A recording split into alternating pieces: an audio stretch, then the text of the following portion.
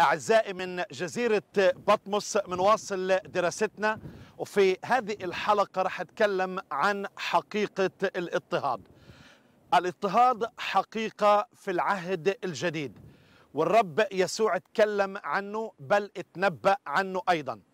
أنا موجود على جزيرة بطمس. هذه الجزيرة الجميلة جاء يوحنا الرسول كأسير إلى المنفى في أيام الإمبراطور دومشيان وكان موجود لمدة 18 شهر بسبب الاضطهاد.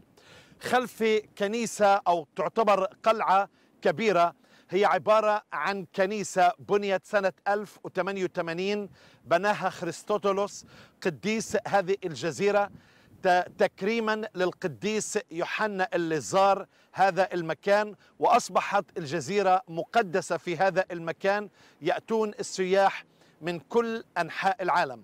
هذه الجزيرة ليست كبيرة 34 كيلو متر القطر بتاعها وهي جزيرة تعتبر من من مئات أو آلاف الجزر الموجودة في اليونان اليوم.